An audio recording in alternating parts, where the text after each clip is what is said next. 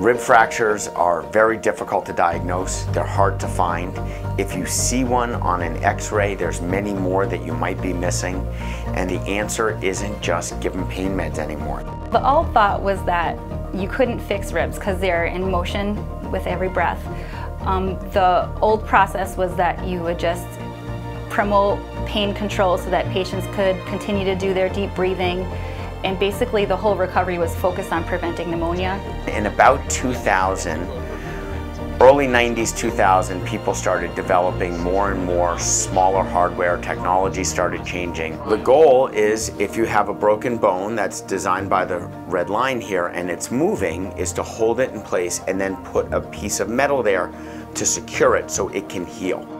We call it surgical stabilization of rib fractures, or SSRF. So you have to have the technology to make a plate that's soft enough that you can take a deep breath in and out, as well as be rigid enough that it doesn't move.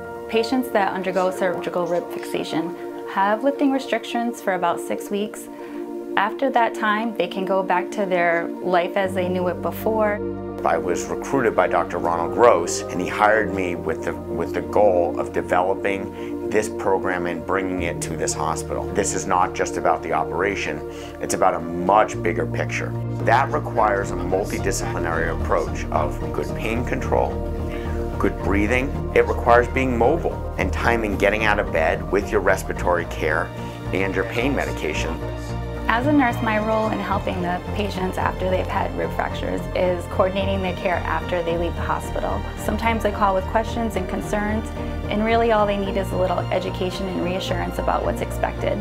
The injury to the chest, particularly in patients over the age of 65, uh, results in significant both morbidity and mortality, meaning you have long-term problems and you can die from as little as just three broken ribs. I am the co-owner of a company that splices wire rope and rigging. And uh, I work every day uh, full time and I had an accident with a tractor that ran over my the left side of my body from my toe to my head.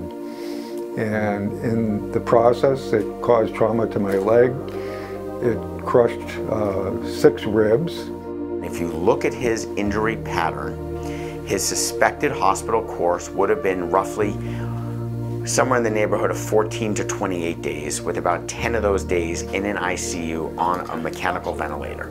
Oh, yeah. He would have a three month stay in rehab and a six month recovery. We took him very rapidly to the operating room and were able to fix his chest, and he had an amazing recovery less than a week in the hospital and was back at home within, I believe, 10 days. At the moment, I'm six weeks and uh, from the surgery and I'm at a real turning point of getting uh, really strong. I can walk steps normally.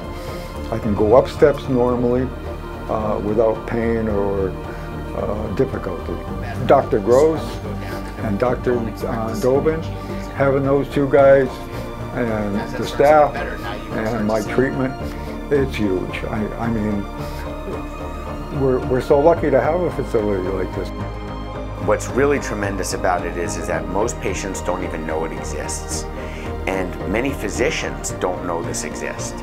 So when they find out that the answer isn't just, here I'm gonna hand you a pile of pills and hope you get better, but in fact we have something else to offer, it's, um, it's very remarkable.